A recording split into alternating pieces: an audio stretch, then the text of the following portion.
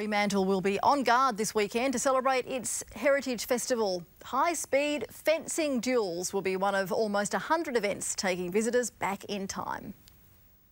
One of the world's oldest sports inside one of Fremantle's oldest buildings. Fencing is an ancient art, so it was fitting for a duel to take place inside the Moores building, which was built in the mid 1800s.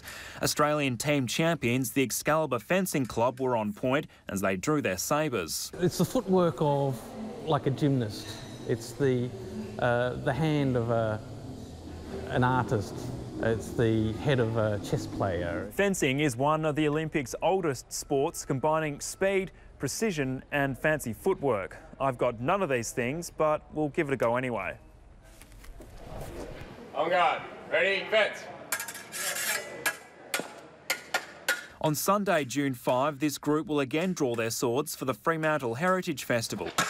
It'll feature 90 events to celebrate Fremantle's rich culture and history to delve a little bit deeper and, and, um, and really discover the real charms and characters that the city has to offer. Take a walk in the shoes of a convict inside Fremantle Prison. Wander through High Street as though it's been transformed back to the 1960s, while this long table dinner of the 1940s will be recreated at the National Hotel. And everybody in, in, in WA has got a story about Fremantle, and those stories are what make up the city's heritage. It's what makes it special. The Fremantle Heritage Festival starts Friday and runs until June 6th. Bo Pearson, 10 Eyewitness News.